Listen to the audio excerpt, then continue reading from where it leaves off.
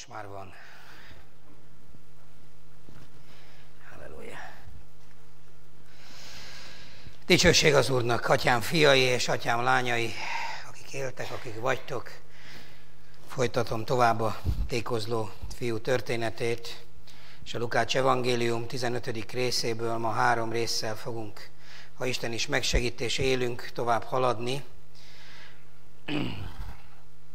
Mégpedig ez a 15. résznek 17. verse, 18. verse és a 19. vers, ami a következőképpen hangzik. Ekkor aztán magába szállt, és azt mondta, az én apámnak milyen sok bérese bővölködik kenyérben, én pedig itt éhen halok. Felkerekedék azért, felkerekedek azért, elmegyek az én apámhoz, és ezt mondom neki, apám, védkeztem az ég ellen és te ellened, és nem vagyok már méltó arra, hogy a fiadnak nevez, tégy engem olyanná, mint a béreseit közül egy. Amen. A múlt héten eljutottunk a mélypontig ennek a történetben, ugyanis láttátok, hogy a tékozló fiú leírt egy olyan pontra, ami azt gondolom, hogy elég megrázó volt, és eljutott egy olyan pontra, amikor senki nem adott neki enni, amikor tulajdonképpen az a gazdagság, amelyet ő azt gondolta, hogy kitart az élete végéig, egyre távolabb sodrodott az apjától, ez a gazdagság, ez teljesen eltűnt, azon a vidéken egy nagy éjség lett, és igazándiból moslékért könyörgött, és moslék sem jutott neki.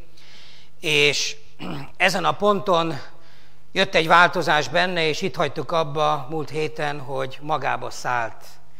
És ez egy nagyon-nagyon fontos történet és fontos dolog, és ezért forduló pontja az embernek, mert minden embernek az életében egyszer vége van a lejtőnek. Egyszer a lejtő elfogy. Tudjátok, nincs olyan lejtő, amely örökké tart, még a Mariana árok is, amelyik azért elég mély, egyszer, hogy mész-mész, és gurulsz, és uszol lefelé, egyszer csak elfogy, és egyszer leérünk a zajjára.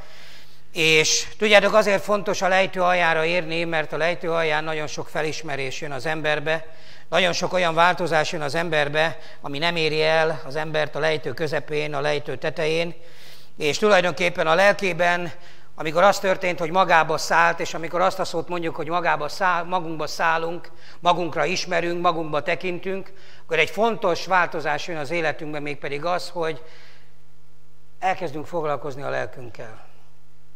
Már nem csak a pénztárcákkal foglalkozunk, már nem csak az igényeinkkel foglalkozunk, már nem csak a szükségeinkkel foglalkozunk, már nem csak az emberi gőgünkkel foglalkozunk, nem csak az anyagiakkal, az aktuális divatokkal kezdünk el foglalkozni, hanem a magunkba szállás az azt jelenti, hogy elkezdjük magunkat látni és elkezdjük magunkat figyelni. Tudjátok, nincs változás egészen addig, amíg az embernek van egy képe magáról, amit kialakít, és abból nem enged, ezt hívják ugye nemes egyszerűséggel gőgnek, vagy egoizmusnak, vagy nagyképűségnek, vagy még egyszerűbben szólva bunkóságnak. De egyszerűen van egy olyan pont az ember életében mindig, amikor kénytelen szembenézni azzal, mi is vagyok én, mire is jutottam tulajdonképpen.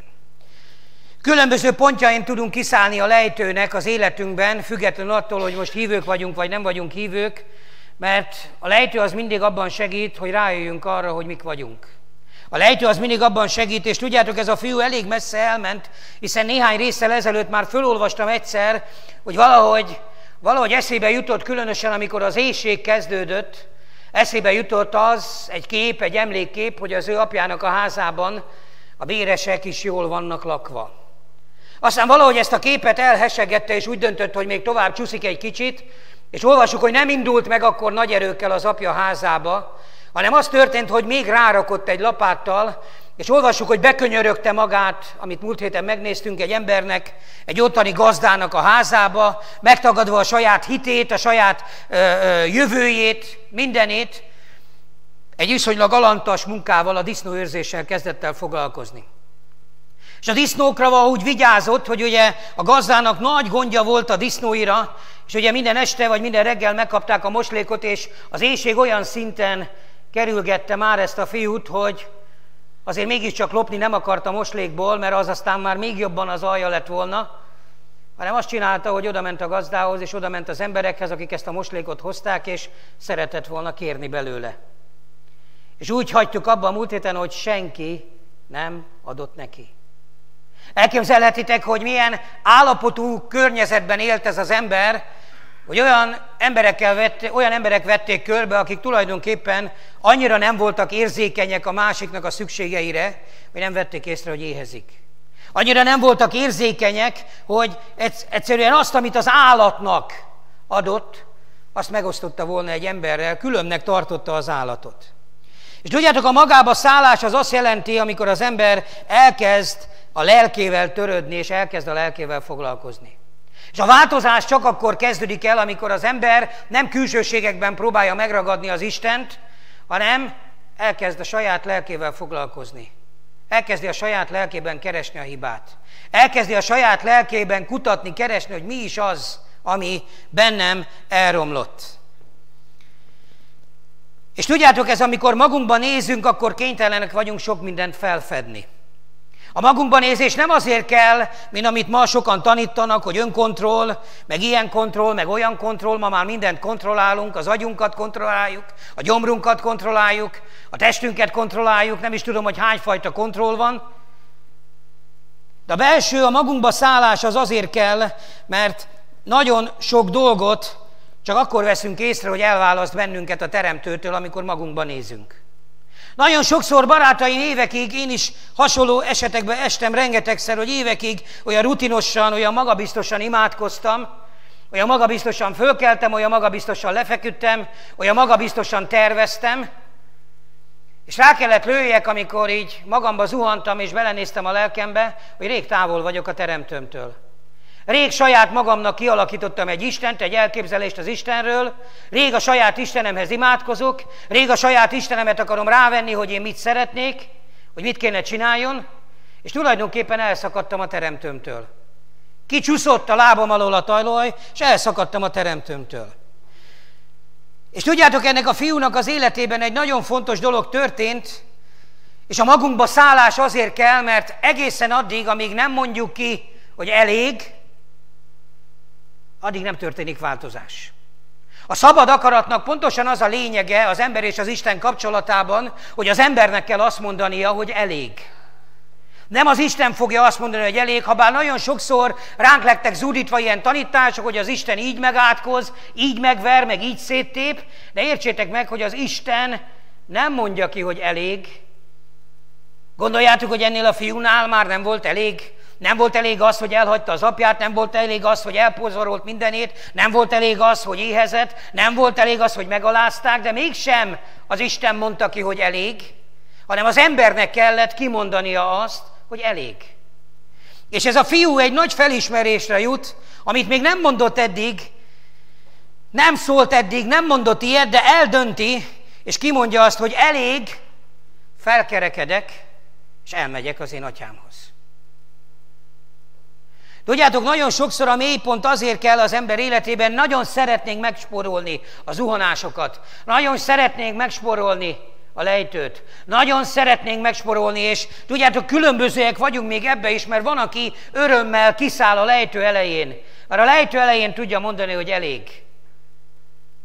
És ez a történet nem azért, ahol szól, és nem arra akarok rábeszélni benneteket, hogy majd mindenkinek ez lesz a sorsa, hogy le kell érjen a moslékos vödörhöz. Ez a történet csak arról szól, hogy a lejtőn bárhol kiszállhatsz, ha azt mondod, hogy elég.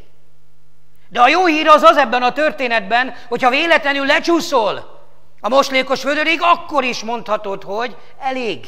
Nincs olyan pont az Istentől való távolodásban, amikor az ember nem mondhatja azt, hogy elég. És azért fordulópont ez a 17. vers, mert ez a fiú annyit mond, hogy elég. Elég volt ebből. Elég volt ebből, hogy az apámnak a házában a béresek is esznek, isznak, és tudjátok, újat akkor lehet csak kezdeni, hogyha az ember kimondja, hogy elég volt. Mi ezt akarjuk megsporolni. Várjuk, hogy majd helyettünk kimondják. Várjuk, hogy majd lesznek olyan tanítók, akik kimondják, és ki is fogják mondani helyetted az eleget, de az nem okoz neked változást. A változást mindig az okozza, ha te mondod ki, hogy elég.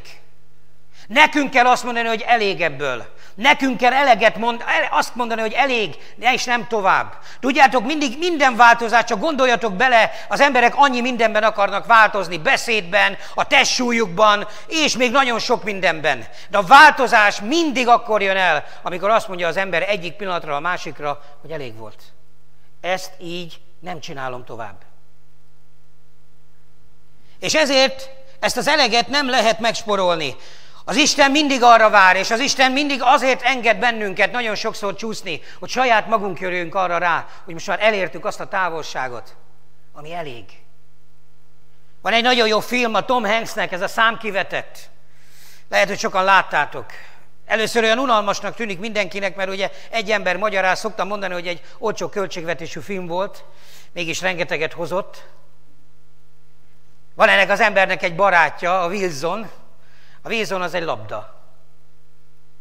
És ez a Wilson, ez vele tölti a, a, ővel együtt az óceán kisodorja erre a szigetre a wilson aztán egy kis plastikai átalakításon megy keresztül a Wilson, kap kis hajat magának, vérrel, van kis szeme, kis szája rajzolva, szóval olyan kezd olyan emberes lenni.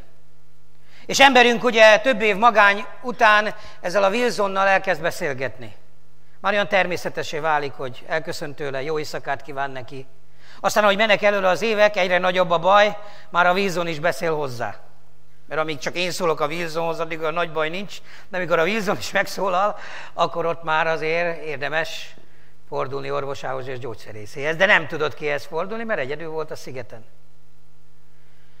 Aztán megbeszélik ezzel a vízonnal, mert a végén már mindent együtt csinálnak. Vízon elég passzív ebbe a közös munkában, mindig ő a figyelő. Van egy unokatestvérem, lusta, mint a föld, és egyszer csak eljön hozzám, és mondta, hogy el szeretne jönni dolgozni. És mondom, hogy mi szeretnél lenni, és mondta, hogy figyelő.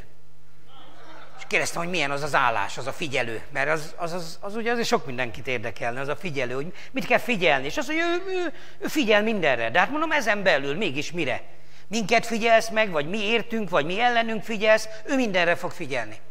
És ez a Wilson is ebben a történetben egy figyelő volt, aztán rájönnek egy tutajra, és nagy nehezen túljutnak azon a partszakaszon, ami mindig visszadobálta őket, és kim vannak a nyílt óceánon, és van egy nagy vihar, és Wilson ki van tűzve egy póznára, és figyel, figyel, figyel, és emberünk már nagyon elfáradt, nagyon csügget, már nagyon ki van tikkadva, már várja talán a halált is, és egyszer csak a vízon leborul, és elkezd úszni a tengeren, az óceánon. Emberünk utána ugrik, mert azért vízzon nélkül nem akar hazajutni, de tudjátok, olyan, olyan messze sodródik a vízon, hogy ő egy kötéllel kapaszkodik a tutajhoz, mert az volt a biztos pont, és amikor a kötél már nem ment tovább, akkor gondolkodott rajta, hogy még elmegy a vízonért, de az már a halálát jelentette volna. És amikor az Isten azt mondja, hogy nem enged feljebb kísérteni, ahogy te el tud viselni, ezt mi különbözőképpen éljük meg ezt az igét. De meggyőződésem, hogy mindannyiunkra rá van kötve ez a kötél, és ez a kötél, mikor elfogy, van, akinek elég hosszú van, 50 méteres, van, akinek csak 20, van, aki 5 méter, van, aki 1-2 méteren van, mert az Isten úgy tartja jónak, hogy szűk porázon tartja. De amikor ez a kötél elér a végéig, akkor arra vagyunk rákényszerítve, hogy azt kell, hogy mondjuk, hogy elég. És ez a fiú, amikor kimondta, hogy elég, akkor lehet újat kezdeni, és tudjátok, nagyon sokan nem tudnak újat kezdeni, mert nem mondják ki, hogy elég. Mert az elégnek a kimondása az nagyon-nagyon felforgatja az embernek az életét. Az elégnek a kimondása, amikor kimondta ez a fiú, akkor ondatok kezdve nem kezdhetett el ugyanúgy foglalkozni a saját bajaival. Nézzétek meg, azt mondta, hogy az én atyámnak a házába visszamegyek, mert ott még a béres is jobban él. Ettől a pillanattól kezdve, hogy kimondta, hogy elég. Nem hallottad azt, hogy éhes. Nem hallottad azt, hogy szomjas, pedig csak szeretnélek benneteket tájékoztatni, hogy ez a fiú egészen addig nem evett, amíg nem ért vissza az apja házába. És nem múlt el az éjsége. De ettől a pillanattól kezdve, hogy kimondta, hogy elég, valami átfordult benne. Tudjátok, nemes egyszerűséggel a kereszténység és a Biblia, amikor kimondott, hogy elég, azt úgy hívja, hogy újjászületés. Ma nagyon sokat gondolkodtam ezen, hogy Mit rontottunk el? Hogyan jutottunk idáig? Hogyan jutottunk és hogyan estünk le idáig, hogy, hogy eljutottunk abba az állapotba, hogy keresztényeknek mondjuk magunkat, mégis nagyon sokan, nagyon sokunknak nagyon hosszú idő telik el, hogy magunkba szálljunk, és hogyan kerültünk az Istennek a jelenlétéből egy olyan állapotba, amikor kiestünk az Isten szeretet kezéből, átéltünk élményeket, átéltünk szabadulásokat, és ma mégis ott tartunk, barátaim, hogy veszekedések, kiátkozások, gyűlölködések, kibeszélések, kiközösítések, indulatok, különböző hangnemekben ütik, vágják egymást a hívők. Valaki az Isten tisztelet előtt átküldött hozzám egy tanítást, Jámbresről és Jámnesről szól. Mindig meg voltam döbbenve, hogy emberek, prédikátorok az igét arra használják föl, hogy másokat szétcsapjanak, kicsapjanak. Nagyon sokszor, amikor előveszik az Anániás, Szafira történetét, Kórénak a történetét, és ugyanilyen Jámbres, Jámnes, Jámbresnek a története is, nagyon sokszor ezekből a történetekből nem az isteni igazságot hozzák ki, hanem mindig azt mondják. Ebből a történetből például a prédikátor azt hozta ki, hogy akik elszakadnak a gyülekezetüktől, azok soha nem voltak közénk valók. És tudjátok, olyan megdöbbentő hallani azt, hogy, hogy, hogy az ember átél valamit évtizedeken keresztül, átéli azt az ember, hogy szívvel, lélekkel jár közösségbe, szíve, lélekkel, nem kimélve az időjét, a családját, az energiáját, és ezt, ezt emberek ezrei mondhatják el magukról, nem kimélve a fiatalságát, mert könnyű azt mondani, hogy szolgáljuk az Urat, de barátaim, én emlékszem rá, hogy akkor szolgáltuk az Urat, mentem este a gyülekezetbe, jöttek velem szembe a korosztályom, mentek bulizni, mikor én jöttem a gyülekezetből, ének idején, akkor ők már akkor próbáltak a csúcsponton lenni. Mikor én hajnalban már fölkeltem, hogy megyek az én uram elé, akkor próbáltak hazamenni, és ezt nap nap végignéztem. És ez nem volt könnyű. Az Isten ezt látja, tudja, ez nem volt könnyű. Nem volt könnyű azt mondani, de én akkor is, de én akkor is. Mint ami ma is olyan időt élünk, hogy nem volt könnyű, nem könnyű nap mint napot megharcolni. Olyan messze tűnik, olyan távolinak tűnik az Isten. És van, aki meg azt akarja ebből az igéből kihozni, hogy közülünk valók voltak, közülünk váltak ki, de soha nem voltak közülünk valók. Ez egy olyan gondolkodás, drága testvéreim, hogy, hogy nem lehet egy olyan ember közülünk való, aki évtizedeken keresztül leteszi az életét. Tudjátok, éppen ez rengeteg gyülekezetnek a tragédiája, hogy nem becsüli meg a tagjait. Csak addig becsüli meg, amíg az érdeke úgy kívánja. És abban a pillanatban, hogy az érdeke nem úgy kívánja, abban a pillanatban kígyót békát kezd rá kiabálni. Hol jövünk ahhoz egy családba, hogyha a gyerekünk azt mondja, hogy elköltözik, épp ez a történet, a példa rá, hogy amikor a fiú úgy döntött, illegálisan, mindenféle törvényt, mindenféle tiszteletet, mindenféle szabályt, mindenféle erkölcsi dolgot áthágva, hogy kikéri a vagyonát, mégse olvassuk, hogy az apa utána összehívott egy halotti tort, eltemették élve a fiút, nem is tudjuk, az anya meg se szólal ebbe a történetben, pedig akinek van apja, annak van anyja is ám. Ez egy ilyen nagyon érdekes törvényt mondtam most, de higgyétek el, valahogy nem szólal meg. De mégse halljuk, hogy a család, hogy néha-néha visszaköszön a Biblia, visszaköszön a szöveg arra, hogy közben otthon dúlnak, fulnak, Levezetik, hogy ez a fiú már gyerekkorában is ilyen volt, olyan volt, amolyan volt. Mert aki azt mondja, hogy soha nem voltak közülünk valók, az valójában soha nem ismert meg. Tudjátok, nagyon gondolkodom rajta, hogy aki azt mondja, hogy soha nem voltam közülük valók, az valójában soha nem ült le velem. Soha nem szakított egy percet se rám. Soha nem kérdezte meg, hogy mi van velem. Soha nem kérdezte meg, hogy hogy vagyok, mint vagyok, miért vagyok úgy, ahogy vagyok. Még a telefonszámát se ismerem, hogy föl tudjam hívni. És nagyon megdöbbentő ez, drága testvéreim, hogy ott tartunk, hogy hogyan jutottunk idáig. Hogy lehetetlen az, hogy ma már emberek ezrei ilyen halnak az egyházakba, mert ilyen mindenféle politikával, mindenféle maszlanggal táplálják őket, és gyakorlatilag kezd kiveszni, ma már a, a, az igazitól kezdenek el az emberek félni, hogy az biztos, hogy valami rossz, mert mindenki más csinál, és mindenféle hamis mű kajával táplálják az embereket. És hogy jutottunk el idáig? Hogy lehetséges az, hogy, hogy, hogy amikor az ember azt mondja, hogy elég, akkor örülni kéne. Amikor az ember azt mondja, hogy elég ebből az Istenből való távolságtól, és tudjátok, a sorok között is lehet úgy élni a mindennapjainkat, hogy távol vagyunk az Istentől. Majd amikor hazaérünk jövő héten ezzel a fiúval, akkor pontosan a, az otthon maradt fiúnak épp ez volt a tragédiája, hogy ott volt az atya mellett, és mégis úgy élte a mindennapjait, úgyhogy nap mint nap látta az atyát, mégis úgy élte a mindennapjait, hogy távol volt az atyától. Semmit nem ismert meg az apjából. És nagyon sokszor az Isten azért engedi meg a távolságot, hogy menjünk el messzebbre, hogy érezzük a hiányát. Tudjátok, sokan jönnek, nagyon nagy válságban vannak a házasságok, a keresztény házasságok. Megdöbbentő. Szinte az elmúlt években csak ilyenek felé szolgálok. És olyan megdöbbentő, amikor azt mondom nekik, bár kínomban nem tudok más mondani, de úgy hiszem, hogy az Úrtól van már mindenféle, az egyik mindig kitalál egy mentséget, a másik, tudjátok, soha nem lesz megállapodás a házasságban, ha az emberek nem néznek magukba. Egyen-egyenként kell magunkba nézni. Mert ha magunkban nézünk, akkor azt fogjuk mondani, hogy elég volt. Mert ez az egész, amit itt mi húzakodunk, vonakodunk, nem ér annyit, hogy fölborítsuk mindazt, amit elértünk a gyerekeinkkel, magunkkal, az életünkkel. És tudjátok, azt szoktam mondani, amikor már így kötél pengeélen táncolnak a házasságok, hogy költözzetek széjjel. És akkor rám néznek, hogy ez milyen keresztényi fordulat. Hát nekem épp az lenne a feladatom szolgálóként, hogy egybe boronáljam őket. Mondom, költözzetek széjjel.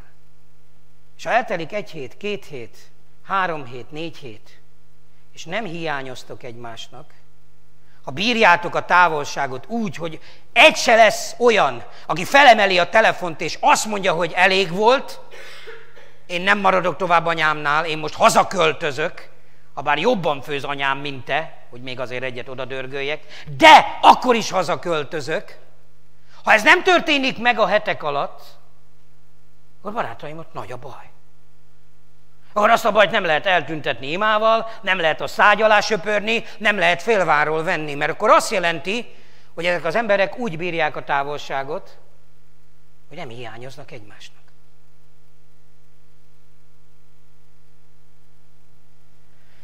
És pontosan ez a fiú eljut az ember egy olyan pontra, mivel a teremtőnktől függünk. Tudjátok, csodálom azokat az embereket, akik a természeten keresztül ismerik meg az Istent.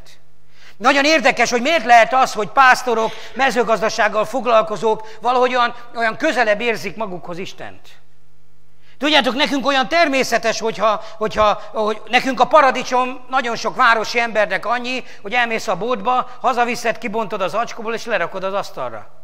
Ha elfagy a paradicsom, nekünk ez akkor sem nagy probléma, mert majd Csilléből, Kambodzsából, meg mit tudom én honnan hoznak. Annyi, hogy egy kicsit drágább az ára, de hoznak. De az, aki ezt a paradicsomot termeszti, annak minden reggel úgy kell felkelnie, hogy függ a mindenhatótól, és megújul az ima élete, mert jó lenne, hogyha nem fagyna el. Jó lenne, hogyha nem égne szénné. Jó lenne, hogyha nem enné meg a kártevő. Egy olyan embernek, aki termeszti, egészen más függése van a természethez. Mi kinézünk, és nem az jut eszünkbe, hogy elfogyott a paradicsom. Mert majd veszünk másikat. És ezért ezek az embereknek egészen más a viszonyuk a teremtett világhoz, és a teremtett világ pedig ezernyi szálon kötődik a mindenhatóhoz, ezernyi szálon kötődik az Istenéhez. Nem mindegy egy ilyen embernek, hogy mi történik. Nem véletlenül a pásztorok éltették meg legerőször, hogy ki az a messiás. Miért? Őnekik nem volt mindegy, hogy megfagy-e az állat, vagy nem fagy meg. Nem volt mindegy, hogy hogyan ellik. Nem volt mindegy, hogy lesz-e gabona. Nem volt mindegy, hogy van-e víz. Az élet minden pillanatában rá volt kényszerítve arra, hogy függjön attól, amit nem tud befolyásolni. Mi a hit? Függök attól, akit nem tudok befolyásolni. Csak minket tanítottak arra, testvéreim, hogy a hiteddel bármit meg tudsz változtatni. Hát ha így lenne, akkor varázslók lennénk.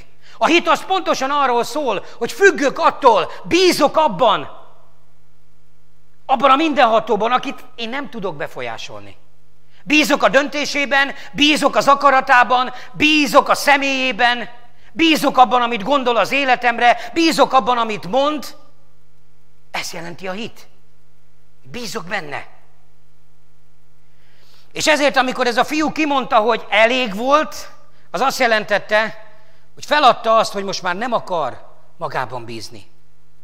És az atyához való visszatéréshez, a hazatalálához, hazataláláshoz, barátaim, nagyon fontos, hogy kimondjuk, hogy elég volt. Minden változás úgy telik, de nem ilyen újévi elég volt. Nézzétek meg, ezzel olyan gyenge, harmadgyenge próbálkozások vannak mindenhol. Decemberben az ember végén csinál egy, egy változtatást, csak azt mondja, na, január 1-től, majd most lefekszek hülén, január 1-től okosan ébredek föl. Csak egy valami hiányzik. Ki kell mondani, hogy elég volt. Ami ezt a sok hülyeséget okozta, abból elég volt. Azt le szeretném zárni. Belemennek, belemennek, úgy figyelem mindig, mindig, mindig, mindig januárban figyelem az egyházakat is. Itt vannak ezek a, ezek a, ezek a maratoni bőtök, 20 napos, 21 napos, 40 napos, nincs nekem, értsétek meg ezzel semmi bajom, csak egyszer ki kéne mondani azt is, hogy elég volt, hogy az Istent úgy kezeljük, mint egy bálvány, elég volt, hogy a testvéreinket úgy kezeljük, mint egy fabábú, elég volt, mert különben nincs értelme a változásnak. A bőt is tudjátok, mire van? A bőt nem arra van, hogy megzsaroljuk az Istent, vagy jó pontot, vagy piros pontot szerezzünk az Istentől, hanem a bőt pontosan arra van, hogy ki tud mondani azt, hogy elég volt. A bőt pontosan arra van, úgy semmi értelme bőtölni, hogy ugyanúgy rohannunk reggeltől estig, mint amikor eszünk. Akkor egyél, akkor jó szívvel egyél. Ha rohannod kell reggeltől estig, ne bőtölj. Miért? Mert a bőt is pont arról szól, abban segít, hogy magamba tudok szállni, magamba tudok nézni, hogy nem cicomázom magamat, nem festem magamat, hanem azt tudom mondani a feketére, hogy fekete, a fehérre meg, hogy fehér. És a magamba nézés nélkül nincsen semmilyen változás az embernek az életébe. És ahogy ez a fiú a 17. versben bizony magába szállt, innentől kezdve megállt a mélypont, és elindult egy változás. Milyen változás volt? Először is nézzétek meg, hogy sok-sok hónap után kimondja a bűvös szót, atyám. Tudjátok, előtte is kimondta, hogy atyám. Csak előtte mit mondott az atyám után? Add ki a vagyonomat. Akkor is ismerte, tudta, hogy atyának hívják, és kimondta, hogy atyám, és utána nem az volt, hogy védkeztem ellened, hanem mit mondott utána? Add ki a vagyonomat. Jelentős változás történt. És amikor megkapta az atyától a vagyonát, nézzétek meg, eltelik hosszú idő, még először is az előző verszakban, amikor rájön, hogy az atyának a házában jobban élnek még a béresek, akkor sem mondja ki, hogy atyám. Mert akkor tudjuk újra kimondani, hogy atyám. Nem véletlenül mindig ezzel volt a panasza, nézzétek meg, nézzétek meg, hogy a zsidó, a, a, akik szívből követték Jézust, és a farizeusok között mindig az volt a különbség, hogy a farizeusok mindig mesternek szólították. Soha nem merték a nevén nevezni, hanem mindig valami, valahogy másképp szólították. Nem merték neki azt mondani, hogy messiás. Tudták, hogy őre nem merték azt mondani, nem csak, hogy mester. Csak, hogy mester. Nem merték a nevén nevezni. Olyan névtelen volt az egész. És ez a fiú azt mondja, kimeri mondani, és azt mondja, hogy atyám. Tudjátok, ez egy, ez egy nagyon fontos dolog. Itt egy komoly változás jön. Hogy újra tudja, hogy van apja. Hogy megemlékezik róla. Hogy emlegeti a nevét. Ez egy nagyon fontos dolog, barátaim. Aztán utána egy emlék vetődik fel benne, hogy olvassuk ebben a verszakban, mégpedig az az emlék, hogy sok bérese bővölködik, ami erősen arra kezdi el emlékeztetni, hogy jó az apja. Tudjátok, amikor otthon volt, akkor is látta, hogy ezek a béresek bővölködnek. Kiment, de nem jelentett neki semmit.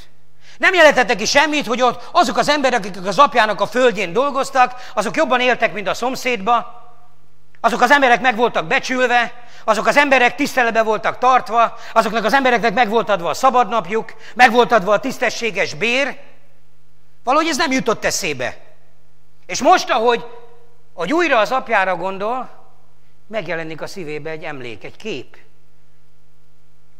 Kezd rájönni, hogy jó az apja.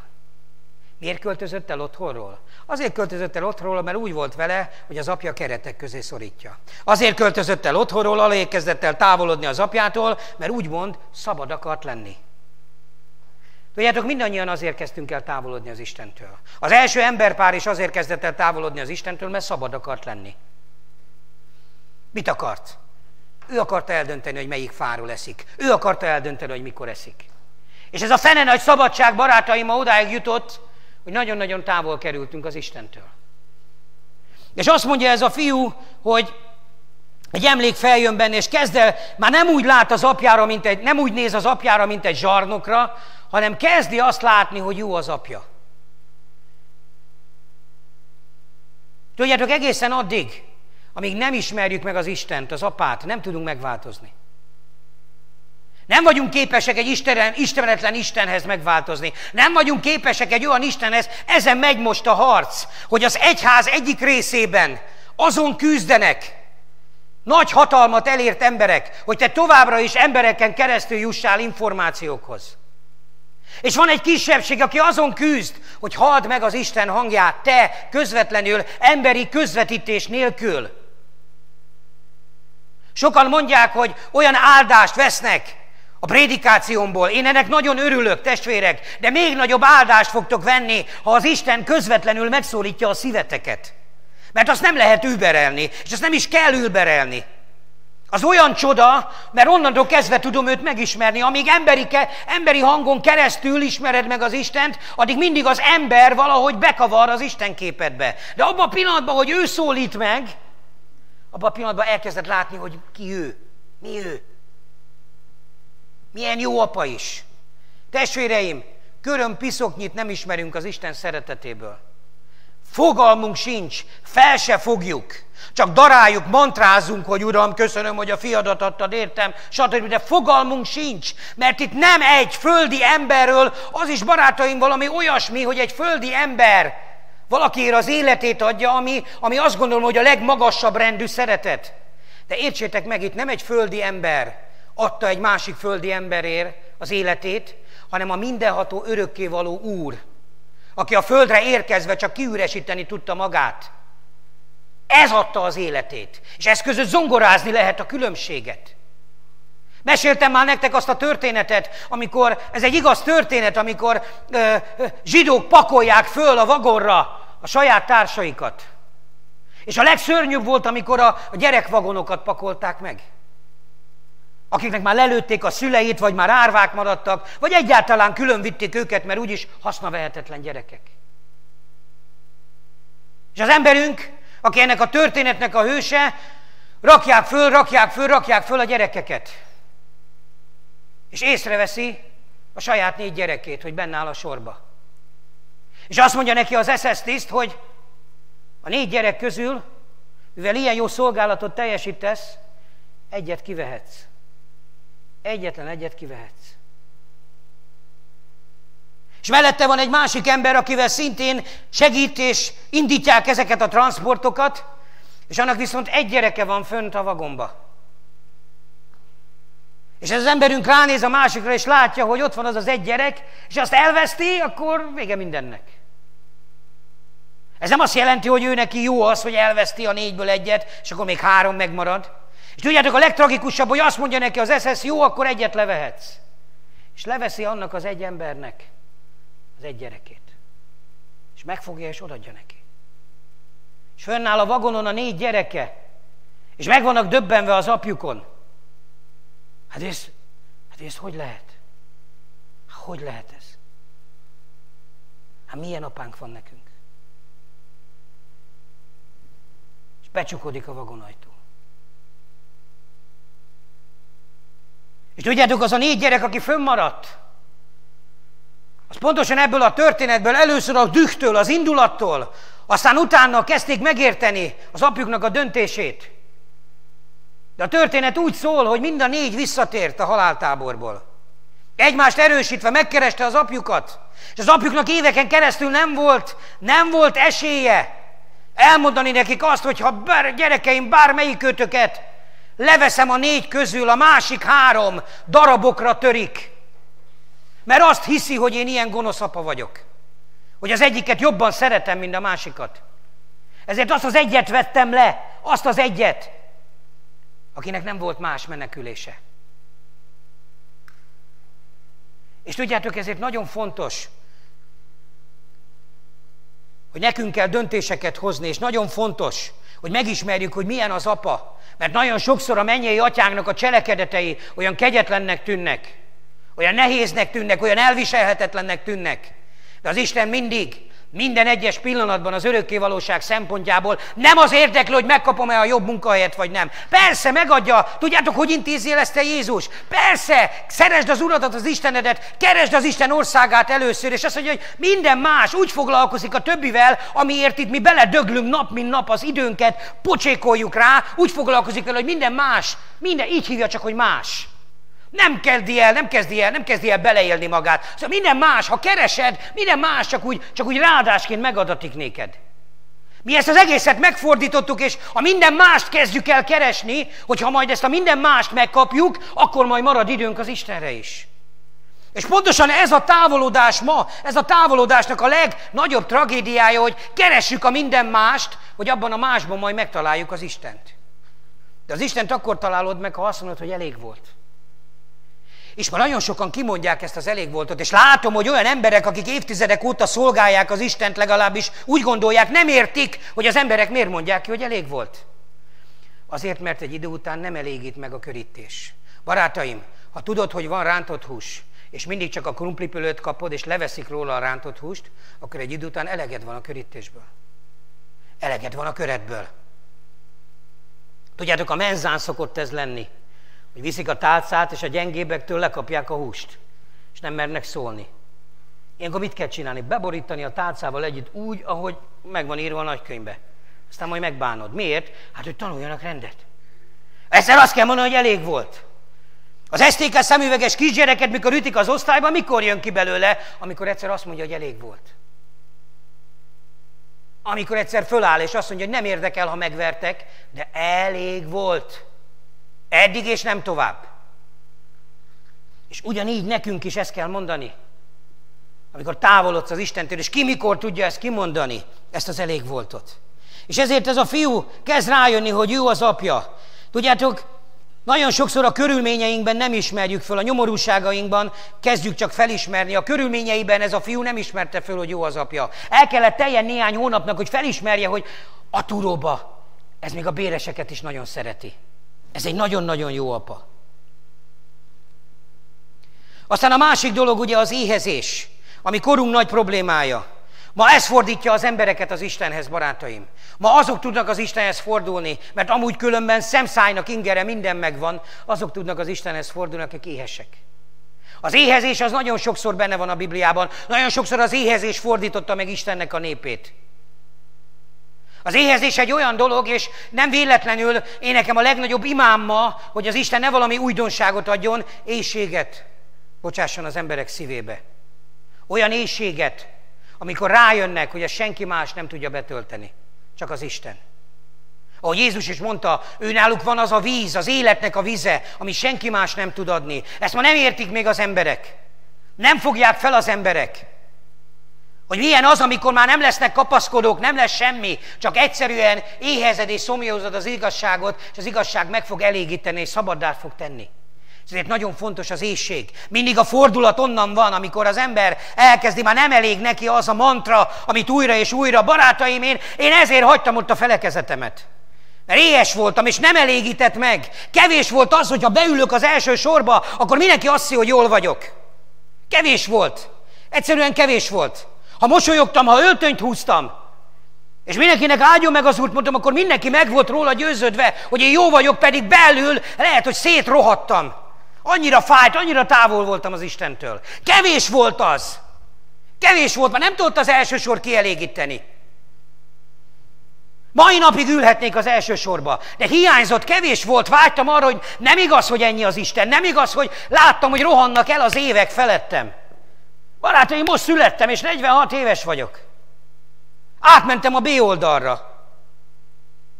Emlékeztek rá, a kazettán régen volt A oldal, B oldal. És tudjátok, az volt a szörnyű, hogy az A oldalon voltak mindig a jobb számok. B oldalon voltak azok, amik még úgy rákerültek a lemezre. De remélem, hogy a mi B oldalunkon azért lesz egy-két világsláger. És hiányzott ez, és az embernek az éhezés. Ma az fordítja az Istenhez, és tudjátok, ezt nézik be nagyon sokan, hogy nem, nem elég, nem mindenkit elégít meg, hogy, hogy, hogy milyen ügyesen kezeljük mi a politikát. Nem mindenkit elégít meg, hogy hat órás Isten tisztelet megy a tévébe. Nem mindenkit elégít meg, hogy kolbászból van a kerítés. Pontosan ebbe ismerjük meg, pontosan ezért, ezért engedte meg ezt Isten, hogy ilyen állapotra jussunk, hogy felfedezd, hogy Isten nélkül semmit nem ér az egész. A könnyeim kicsordultak, amikor megértettem, hogy Mózesnek oda megy az Isten, és azt mondja, hogy figyelj Mózes, be fog menni mindenki az ígéret földjére. Minden úgy lesz, ahogy megígértem az elődeidnek. De az én jelenlétem nem megy veletek, mert nem kellek én nektek.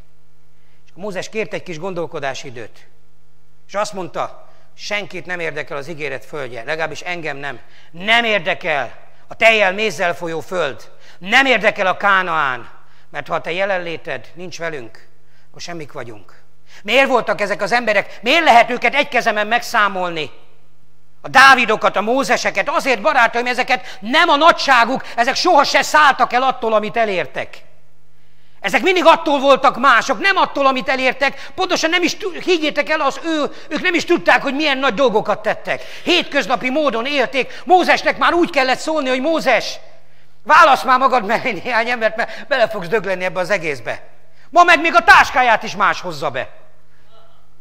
Hát hogy lehet ez, testvérek? Hát ezek nem ezt, nem ezt láttuk. Ezek az embereknek úgy kellett szólni, hogy, hogy fel fogod dobni a talpadat, hogyha így csinálod.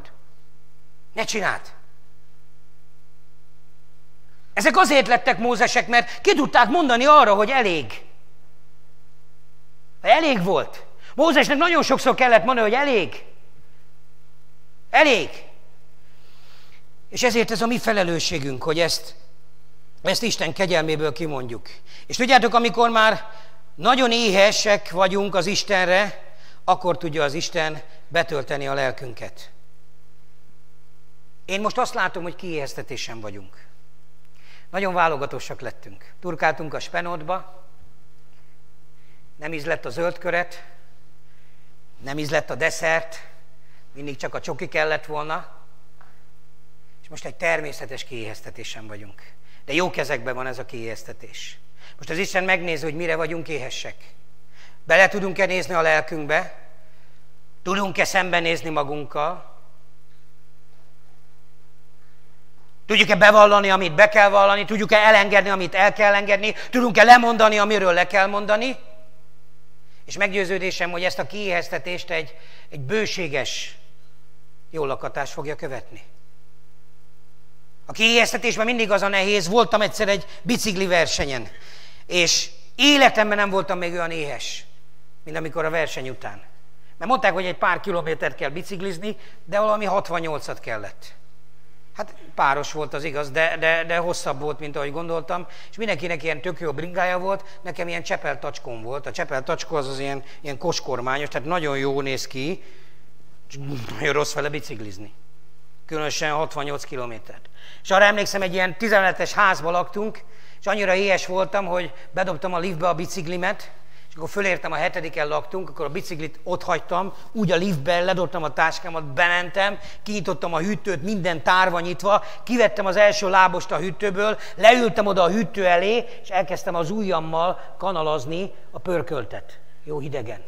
És jöttek sorba haza a lakók, nem ugye, mert mindenki anyázott, mert a liftbe ott hagytam a bringámat, senki nem tudta hívni, jöttek föl gyalog, én meg ülök és törölgetem a kezemmel. Olyan éhes voltam. Ha éhes vagy, nem érdekel semmilyen körülmény. Nem érdekel, hogy ki kiabál a lift miatt, ki kiabál a biciklid miatt, nem érdekel, hogy hideg a kaja vagy meleg.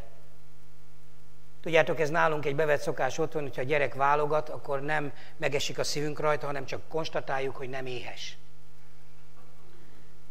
Mert ha éhes, nem válogat. Mit kell csinálni, ha válogat? Meg kell várni, még éhes lesz.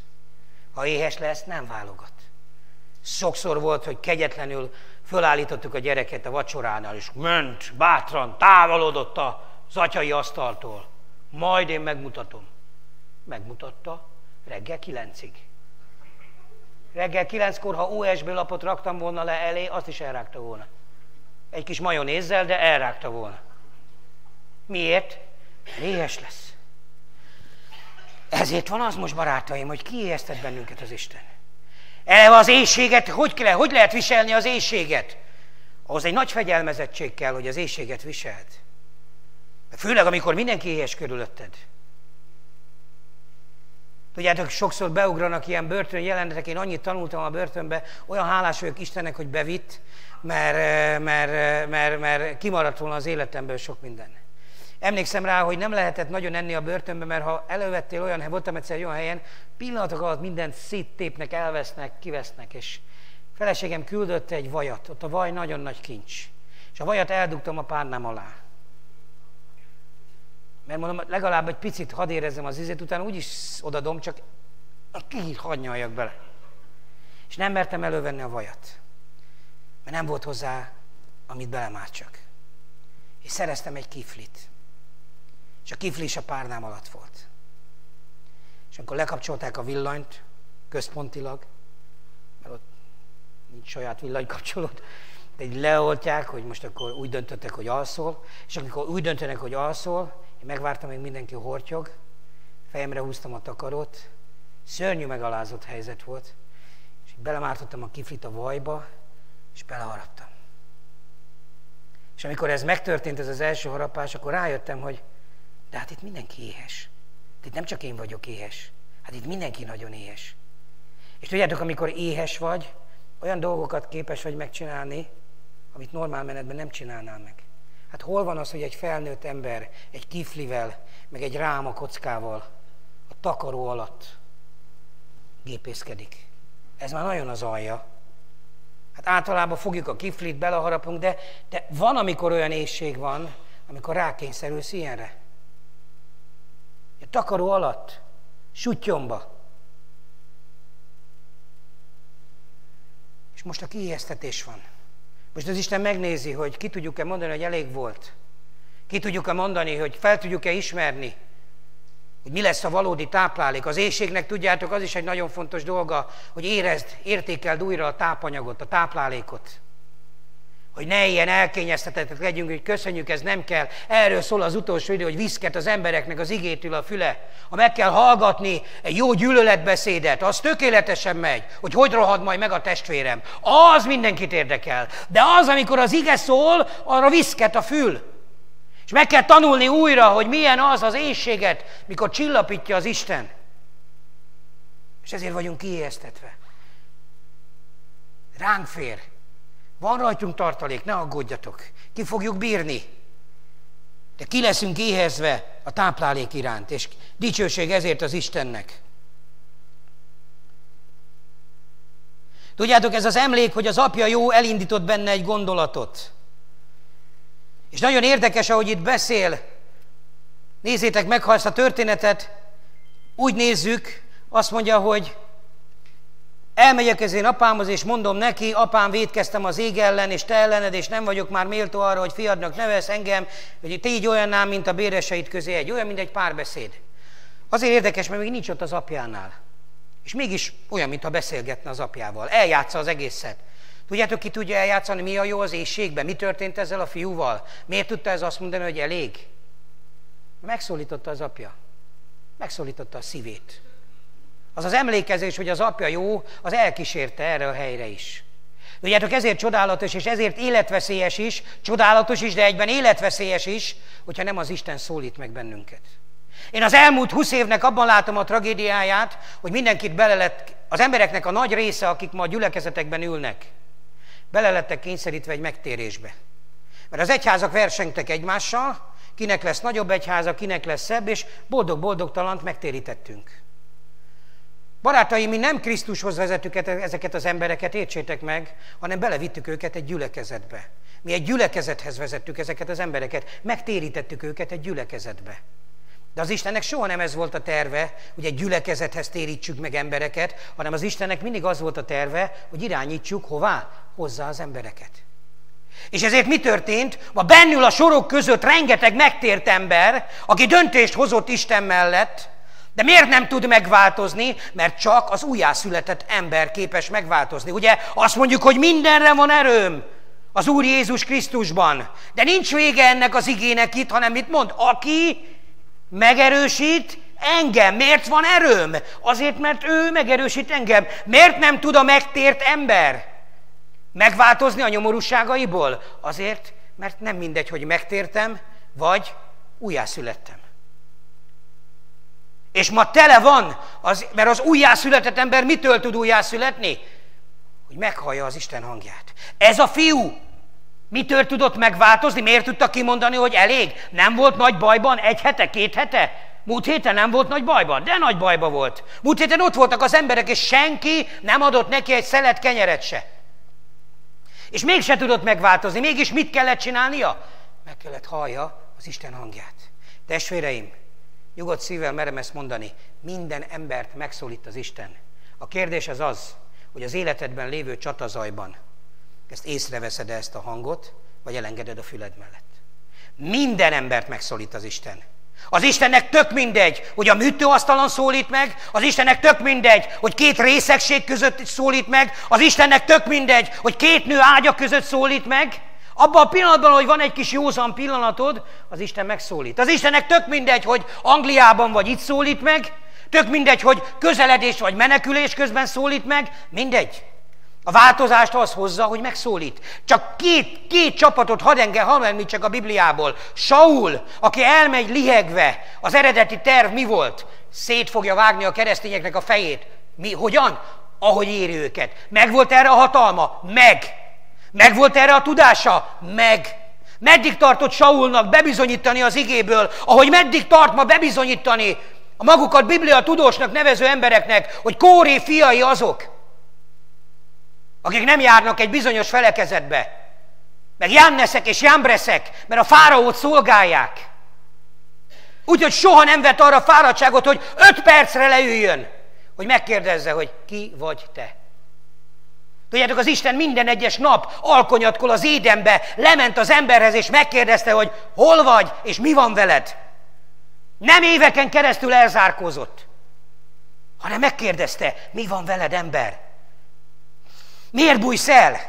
Látta, hogy jött az ember, Ádám ugrált, stb. jó volt, és egyik, est, egyik nap mit lát Ádámon, hogy bajba van. És nem, nem volt, nem verte le a válláról a bajt, hanem azt mondja, hogy mi a bajod. És akkor jött rá, hogy hiányzik neki az, Évike. És Isten annyira tudta, hogy mi van benne, hogy elaltatta, és a lehető legjobbat hozta ki belőle. És nézzétek meg Saul abban a pillanatban, hogy nem tudták megváltoztatni ideológiák. Tudjátok, hogy Saul Saulként mennyi csodát látott? Akkor azért már az apostolok működtek. Túl vagyunk Jézus csodakorszakain. Ott somfordált a templomhegyen, biztos nézte Jézus csodáit. Túl volt egy csomó mindenen. Mégsem értett meg az egészből semmit. Utána megölték Jézust. Utána Jézus feltámadott, ezt is hallotta, hogy feltámadott. Biztos, hogy hallotta, mert még az Emmausziak is mindenki hallotta. És mégis mikor tudott megváltozni? Saul, miért kergetsz engem? Barátaim, nem opció, hogy vagy halljuk az Isten hangját, vagy nem. Barátaim, ez létkérdés. Ez ma létkérdés. Ezért, ha nem hallod, akármilyen helyzetben vagy, mondd ki, hogy elég volt, és tegyél meg mindent, hogy halljad, mert ez létkérdés. És abban a pillanatban, abban a pillanatban, hogy meghallotta az Isten hangját, nem kellett neki teológia, ilyen ológia, ilyen izmus, olyan izmus. Mi történt? Barátaim, a kutya nem hitte el neki, hogy megváltozott. Még az az ember se hitte el neki, akit az Isten küldött oda imádkozni. Az is úgy ment oda, hogy inkább megfojtanám, mint, mint ráteszem a kezem. Még az se. Angyalt kellett küldeni az Istennek. Ott vannak a niniveiek. Niniveiek hallottak Istenről, hallottak Izraelről, Hallottak az Isten népéről, ott volt a szemük előtt, láthatták. Mégis amikor az Isten szava, pedig Jónáson keresztül nagyon vékony és nagyon sovány evangélium ment be, Jónás nem vitte túlzásba az ige hirdetést. Jónás nem vitte túlzásba az üzenet. Nem eresztette bőlére. Nem volt benne másfél óra. Másfél perc se volt benne. Mennyi volt Jónásba? Néhány másodperc. Térjetek meg, azt üzeni az Isten, mert elpusztul Ninive 40 nap múlva. Barátaim, ez egy pozitív üzenet, nem? Bemész Kovácsékhoz a szomszédba, Kovácsék, térjetek meg, mert 40 nap múlva leég a házatok. Mit mondom a Kovácsék? Ó, oh, áldassék a nevet testvér. Honnan jöttél, melyik gyülekezetből? Mesélj nekünk. Azért értitek, ez nem olyan, ezt, ezt, ezt fogadókészség is kellett hozzá. Én nem mondom, hogy próbáld meg, de ha laksz egy társaságban, menj be a szomszédba, próbáld meg, ha az Isten küld. Ez értsétek meg, fogadókészség is kell. Miért volt bennük fogadókészség? Ninive rosszul állt, akkori világ legnagyobb városa volt. Három napi járóföldön lehet keresztül menni. 120 ezer ember lakott benne.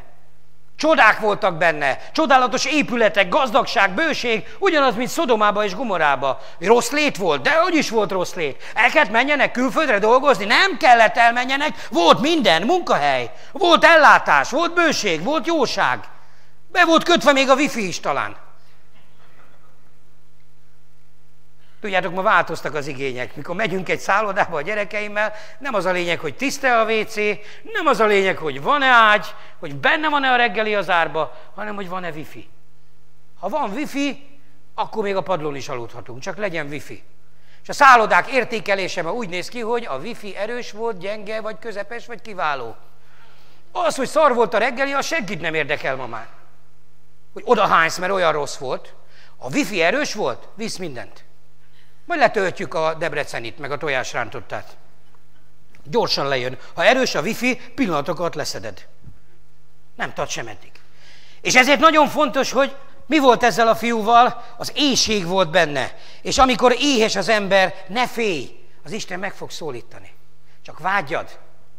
Vágyad. Ma nagyon sokan beérik, hogyha valaki azt mondja a másik emberre, hogy ez ilyen kutya, akkor elfogadom, azt mondom, jó, hát ez kutya, ha XY azt mondta, akkor ez biztos kutya. Ne érd be ezzel. Ne érd be emberi hanggal, mert az emberi hangok félre fognak vezetni, ha nem tiszta forrásból folynak. De várd meg az Isten hangját, mert ha az Isten megszólít, az meg tud változtatni. Tudjátok, azért küzdünk ma, azért nyögünk ma, mert nem isteni hang az, ami nap mint nap megszólít bennünket, hanem próbálunk emberi hangoknak megfelelni. Nekem ebből is elegem lett. Nem azért, mert lázadó vagyok, hanem elegem lett abból, hogyha azt mondja valaki, hogy fekete, és látom, hogy fehér, akkor csak akkor leszek jó fiú, ha én is azt mondom rá, hogy fekete. Mert nincs más opció. Tudjátok, hogy gondolkodom rajta, hogy, hogy, hogy, hogy, hogy, hogy, hogy emberek ezrei éhesek, vágynak, fölállnak, arrébb állnak, stb. És azok, akik ezt látják, még mindig nem az jut eszükbe, hogy nem hibáztunk mi valahol hanem mindig az az aktuális, aki éppen lelép, az mindig a hülye kóré.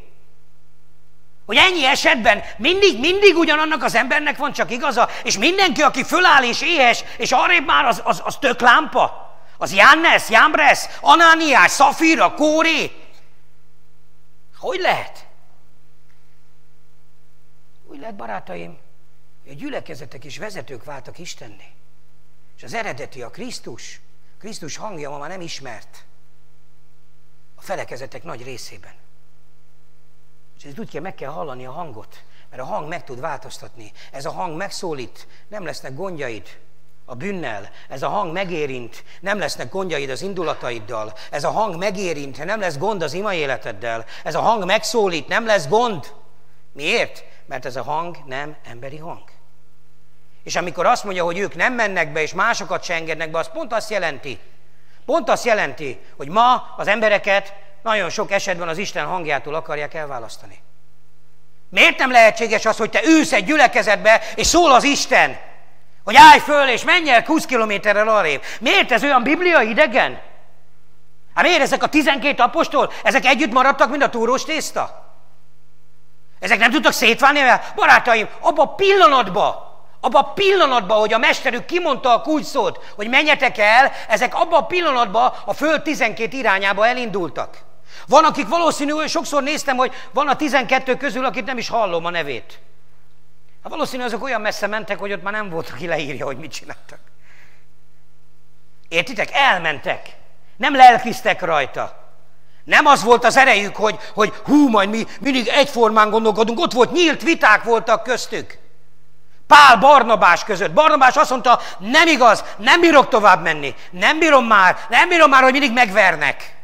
Bemegyünk, elmondjuk az evangéliumot, és összevernek bennünket. Bemegyünk, leborulunk az Úr elé, és kidobnak a hajóból. Megköveznek. Bemegyünk, hogy az Úr majd megáll bennünket, és éhen pusztulunk. Nem bírom már, Pál. Pál mit mondott neki? Nyikhaj vagy, tornából felmentett. Kettes, megbuktál. Mondta Barnabás, nem vagyok az. Csak itt akarok maradni ebbe a városba, és akik kiestek az útszélére, ezeket szeretném fölemelni, ezeket szeretném segíteni. Nyikhaj vagy, Barnabás! De soha nem mondta rá, hogy az ég adjon rád kénköves ménküt. Meg Jannes vagy, meg Jambres vagy. Soha! És Barnabásnak tökéletesen betöltötte az isteni elhívását. Tökéletesen. Vagy ott van Pál, akkor már Pali volt. Erős Pál. Ott van Péter. Azért Péternek mindig volt tekintéje. És Péter sunyiskodott. Meg akart felelni a felekezeti elvárásainak is, meg akart felelni a szívének is. Csak most jelzem, nem fog menni. 15 évig próbáltam. Meg akartam felelni a felekezeti elvárásoknak, és a szívemnek is. De hála az Úrnak, és adj hálát érte, ha a szíved győz. Az a jövő. És ott ment, és azt mondta Pál, hogy Peti, nem lesz ez így jó. Az előbb ott teszed velünk a véres hurkát. Most ezt csak ne értsetek félre, nem ettek ezek, csak mindegy, csak kirívót akartam mondani. Ott kajálod velünk. És amikor megjön a felekezeted, akkor meg oda mész, és nem iszom, nem eszem, bőjtölök. És oda ment, és nem azt mondta Pál, hogy majd, majd a prédikáción keresztül üzenek, hanem oda ment hozzá ott a többiek előtt, Jakab előtt, meg mindenki előtt, a Jeruzsálemi küldöttség előtt, a nagy országos vezetés előtt. Elmondta, hogy képmutató vagy. És ezt ne tedd, mert ez távol visz Istentől. Pál miért mondta neki? Mert féltette, kellett neki Péter pozíciója? Hát nem. Hanem őt féltette. Pétert féltette. Hogy távolodik az Istentől. És ezért nagyon fontos, hogy ez a fiú kimondta, hogy elég volt. Nincs tovább. Eddig és nem tovább. És dicsőség ezért az Úrnak. Erre az volt a válasz, hogy az atya megszólította. És tudjátok, ezért létkérdés, hogy az atya szeretete meg tudjon bennünket szólítani. Nem érdekes, hogy hol. Én látom, hogy ma nagyon sok helyen szólítja meg az Isten az embereket. Nagyon sok helyen. Valakit egy jó, kimulatott éjszaka után. Van, aki tényleg a műtőasztalon. Van, aki tényleg a halálos betegségben. Testvérek, annyira nem lehet eligazodni ma, hogy hol. Várnánk az ideális állapotot, mert mi majd, majd leülünk a kis székünkre, ami már nagyjából meg is van a nevünk rajta, majd ott meg fog szólítani az Isten bennünket. Nézzek ezt a fiút, hol szólította meg az Isten? A moslékos vájú után, két kilométerrel. Mert még onnan is elrúgták a fejét. És ezért ma ne becsüld le az Isten, ma ilyet, ilyet, ezt csinálja, hogy megszólít, igen, megszólít kocsmában ülő embereket, megszólít prostituált ágyában fekvő embert. Megszólítja őket. És tudjátok, nem az a különbség, nem az a lényeg, hogy hol szólítja meg, hanem az a lényeg, hogy mire a válasz. Mert nagyon sokszor megszólított bennünket az Isten. Van, mikor úgy csinálunk, tudjátok, mint a reklám, hogy pap, pap, pap, pap, pap, pap, pap, pap. Az Isten egyre hangosabban mondja. Nem akarjuk azt hallani. Miért? Hát Jónás hogy csinált? Mondja neki az Isten, Ninive. Jaj, bocs, úgy hallottam, Tárzis. Nem hallottad úgy, mert még a magánhangzók is mások benne. Teljesen más a hangzása. Ninive, meg Tárzis nem összekeverhető. És az Isten segített neki eljutni Ninivébe. Merő jó szándékból, isteni szeretetből. Jött a Bálnatursz, és vitte. Eljutott. Megszólította. Hol, hol, hol értetni, hol, hol látta meg Jónás, hogy ki az Isten? Ott, a sötétségben, a mélységben, a cethal gyomrába, harmadik nap után. Na mi van Jónás? Hogy állunk itt a Ninivei utazással? Hát uram, most így a harmadik nap után, itt a gyomorsavba úszva, épp az előbb nyelt le egy izét, egy kis halászhajót, ez az aranyos kis cett, az itt suhant el mellettem. Mennék én úgy gondolom Ninivébe. Mennék. Ha lehet még, van ilyen opció, akkor mennék. Az Isten annyira megörült ennek, hogy gyomorrontást adott a cettnek, azt mindjárt kiokátta a halászhajóval együtt a partra. Ez egy ninivei cett volt. Valahogy véletlen ott volt. De akkor Jónás megint elővette az arcát, és azt mondta, hogy jó van, bemegyek, oké, megcsinálom, nem érdekel, megcsinálom.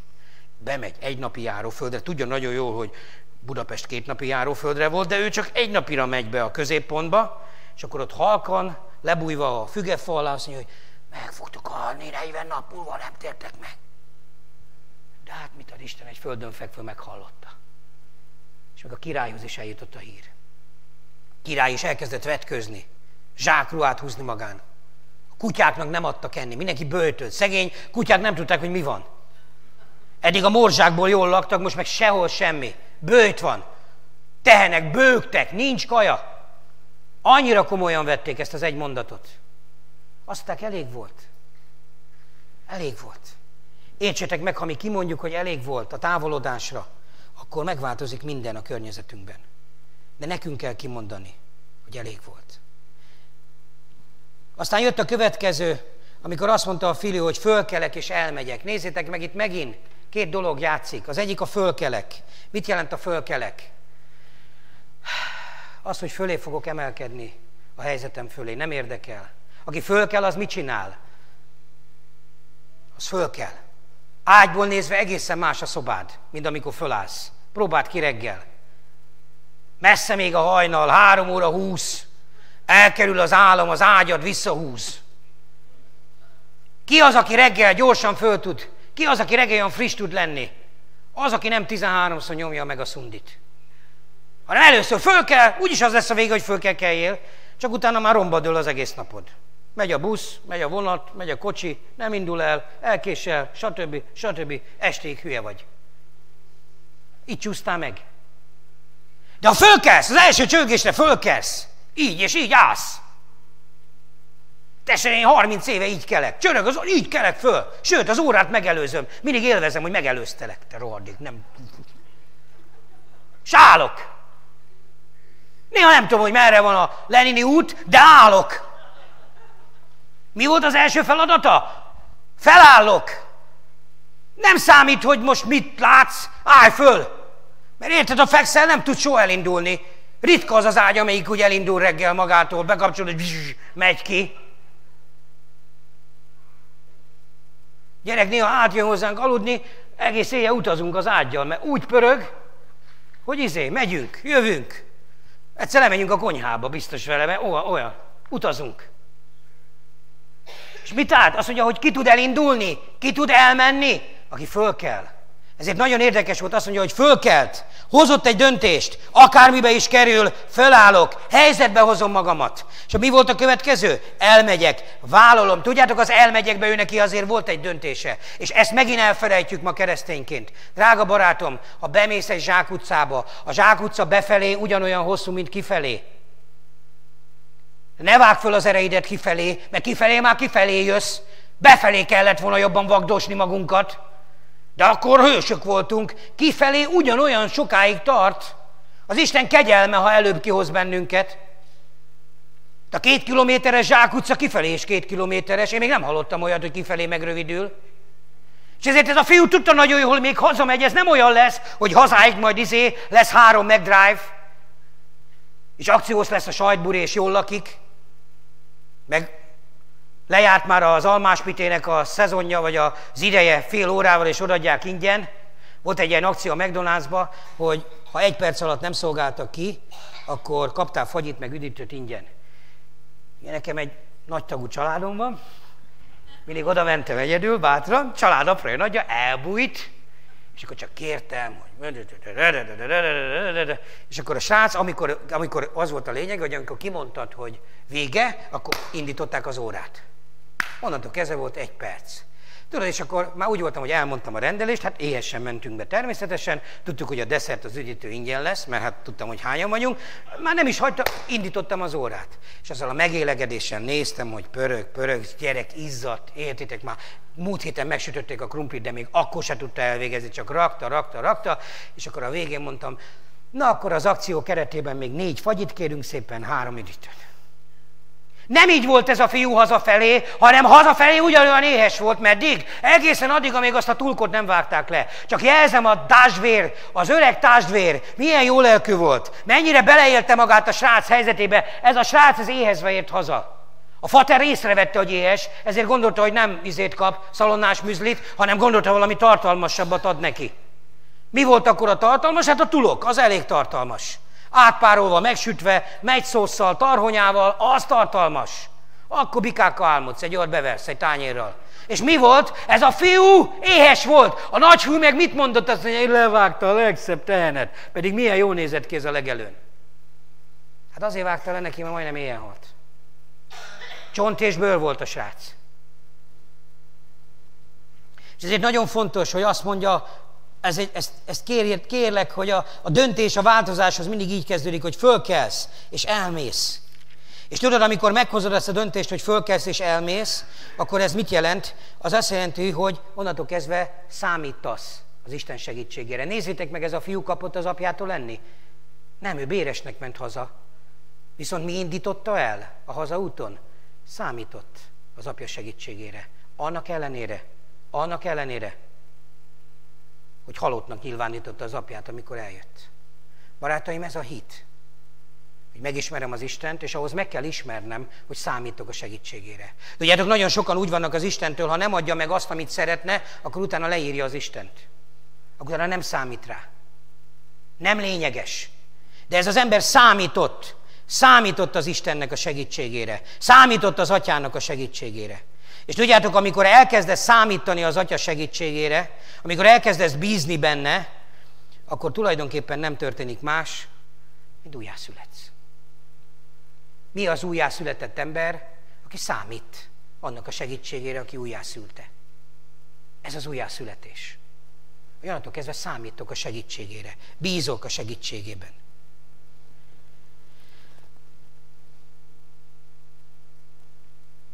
És ma az Isten nagy hangsúlyt tett az újjászületésre. Erről kellene elkezdeni prédikálni a gyülekezetekben. Rengeteg ember ott ül megtérten, éhessen, és nem tud egyről a kettőre jutni, mert nem hallja az Isten hangját. Nem hallja, hogy megszólítja az Isten. Nem tud különbséget tenni emberi és isteni hang között. És az emberek meg ezt kihasználják nagyon sokan, és a saját hangukat isteni hangra emelik. Barátaim, az nem normális dolog, hogy egy embernek olyan szava legyen egy közösségben, mint egy Istennek. Ez egészségtelen, ez különösen arra az emberre nézve, akinek ilyen szava van. Ott hol marad hely az Isten szavának? Ott hol marad hely az Isten hangjának? Ott hol marad hely az Isten beavatkozásának? Sehol. Az Isten éjséget fog támasztani, amelyet nem fog megelégíteni egy konferencia, nem fog megelégíteni egy hosszú hétvége, ezt az éjséget csak maga az Isten szava fogja megelégíteni. És ma ennek jött el az ideje. A hazatalálás első lépése az volt, hogy elkezdett beszélgetni az atyával. Atyám, nézzétek meg, hogy beszél a saját apjával. Úgyhogy még nincs otthon. Atyám, elmondom neked, védkeztem ellened. Tudjátok, honnan lehet látni, hogy magába fordult? Már nem hibást keresett. Nem azt mondta, hogy azért mentem el, mert nagyon kemény voltál, kegyetlen voltál, azért mentem el, mert nem volt jó otthon, hanem mit mondott? Nem keresett hibást. Azt mondja, én voltam az. Én védkeztem. Én védkeztem, ezt vállalom, hogy védkeztem. Testvéreim, egyetlen egy menekülési útvonalunk van, a világosság. Az Isten nagyon kedveli, ha vállalod. Ezek az emberek, akikre azt mondta, hogy Isten szíve szerint való férfiú, az mind attól volt különleges, hogy vállalta, hogyha hibázott. Dávid nem ölte meg Nátánt, amiért leleplezte. Tudjátok, ma cégíres bűnöket kirakunk, listázzuk az embereket, hogy ki mekkora házasságtörő meg parázna volt, és közben a gyűlöletet, a haragot, a meg nem bocsátást, ezeket meg szépen isteni rangra emeljük és megtűrjük magunk között. De a cégéreseket meg kilistázzuk, világosságra, nyilvánosságra hozzuk. De a hazudozást, a gyűlöletet, az indulatot, az meg nem számít, az belefér. Azzal nincs gond. Pedig egyetlen egy ember sem tud belépni az Isten országába, aki gyűlöli az atya fiát. Mert aki azt gyűlöli, akit lát, az azt is gyűlöli, akit nem lát. Mert ezt mondja az Isten igéje. Én nekem kiben kell meglátni az Istennek a csodáját? Benned. Benned. Neked kiben kell meglátni? Bennem. Ez adta. Na a kórét lásd meg bennem. Nem az vagyok. Ezt kell meglátnunk egymásba. Mert ha egymásba, ha bennünk mi tökéletlenek, akik, akik tudom, hogy mi, mi értsd meg a, a magadban nézésnek az első állomás az az, hogy rájössz arra, hogy tökéletlen vagy. Szóval aki még mindig tökéletes, csak tökéletes tud lenni, nem tud hibázni, az egyszerűen még nem nézett magába. És azért sajnálok sok embert, hogy mindig tökéletes. Ha fekszik, ha alszik, ha fönn van, ha nem van, ha hülyeséget mond, mindig megtapsolják. Tökéletes. De nem. Pontosan a magunkban nézésnek az a lényege, hogy rájövünk arra, hogy tökéletlenek vagyunk, és vannak olyan dolgok, amiket az Isten ereje nélkül nem tudunk megoldani. És ez a fiú erre jött rá. És ezért a hazamenetelnek az első lépése az az volt, hogy beszélt az atyával. Tudjátok, amikor kimondta, hogy atyám, ez olyan volt az újjászületésben, mint az első lélegzetvétel. Amikor kimondta, hogy fe, védkeztem, az olyan volt az újjászületésben, amikor felsír a baba. Hát egy anyának milyen az, amikor felsír a baba? Amikor kusba van, meg van dermedve az egész szülőszoba. Ezért ugye a bátrabb bába asszonyok mit csinálnak? Rásoznak akkorát a valagára, hát még a, aki meg akart halni gyerek, még az is fölsír. És amikor fölsír, akkor mindenki megnyugszik, és azt mondja, hogy dicsőség az Úrnak, megszületett, él. A sírása jele, hogy él. Hát ezért a szülőszobák, amikor születek, akkor nem néma csendet hallasz, hogy egyik nagyobb a tüvölt, mint a másik. És ezért nagyon fontos, hogy ez a két szó hozza a változást. Hogy atyám, védkeztem. És a világosság, barátaim, a legnagyobb szabadság mindannyiunk számára. Semmi más nem tud bennünket megtartani. És ez a fiú elindult. Tudjátok, a körülményeik ellenére elindult, és már innentől kezdve már nem az éjségével foglalkozott, nem azt mondta, hogy hazamegyek, és megmondom apának, hogy olyan éhes vagyok, majd késik a szemem. Nem ez volt az első. Megmondom apának, hogy nekem szükségem van új ruhára, új gyűrűre, új autóra, új asszonyra, hanem mi volt az első, amit meg akart mondani? Védkeztem ellened, apám. Védkeztem, és nem számít már, már nem, nem tudom értékelni a vagyont, ezt, azt, azt, egyet szeretnék, béres lenni. Tudjátok, a szolga az a családhoz tartozott. A szolgát a jobb családok megbecsülték. Leülhetett születésnapkor. Látjátok ezekben a régi filmekben is, hogy voltak szolgák, akik végszolgáltak generációkat mit tudom én, Manyi néni nélkül nem, nem volt ugyanaz az ünnepség. Pedig ő csak a szolga volt. Ez a polgári családokban egy tökéletes dolog volt, barátaim. Hiába a cseléd szobában lakott, az egy kulcsfontosságú szereplője volt a családnak. A szolgának megkötötték vele a megállapodást. Annak volt hétfőn, kedden, szerdán és munkája. Megállapodtak vele hosszabb távra. A béres az ki volt? Napszámos. A napszámossal mi különbözteti meg a napszámost a szolgától? Úgy, hogy a napszámostól csak arra napra állapodnak meg. Annak csak hétfő volt munkája. Miért rossz napszámosnak lenni? Mert ha nap letellik, azt mondhatják, hogy hasta la vista, baby. De ha van határozott idejű munkaszerződésed, akkor nem mondhatják azt, hogy hasta la vista, baby. Akkor pengetnek, ha el akarnak zavarni. Ezért nem is szeretik ebbe a mai modern világban határozott idejű munkaszerződéseket. A határozatlan szeretik. Sőt, a napit, a bélyegzőset, azt így föl lehet rugni. Nem tetszik a pofája, fölrugom. Kész, megy el. És ő nem akart szolga lenni. És csak azért jelzem, mi változott még meg benne? Béres elégedett volt. Annyira, annyira látta már, hogy jó az apa, hogy tudta nagyon jól, hogy ott még a béresnek is jó dolga lesz. Mert az apa nem fogja kirúgni naponta. És ezért megváltozott a gondolkodásmódja ennek a fiúnak. Vállalja a bűnei következményét, tisztába van vele. Tudjátok, ez is egy nagyon-nagyon fontos dolog. Az ember, amikor kimondja, hogy elég, akkor vállalja a bűneinek a következményeit. A Boros Lajos bizonyságában mindig visszatérek rá, de annyi ilyen börtönös bizonyságot hallottam, de Boros Lajos, aki itt volt az ő bizonyságában, az a, az a nagyon különleges barátaim, hogy bennül már a börtönbe, és rá, és van egy bűncselekmény, amivel ők is gyanúba hozzák, és ezért még 20 év jár, vagy 10, most nem tudom a számokat, de nagyon sok. És közben ez a fiú megtér benne a börtönbe. És nem tudják a hatóságok rábizonyítani ezt a bűncselekményt. De belül a szellem szorongatja, és azt mondja, hogy döntsd el, hogy megtértél-e.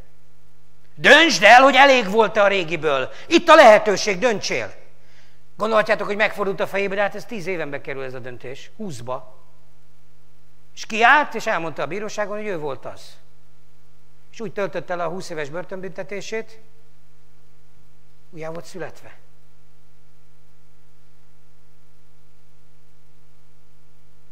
Nem hazudott.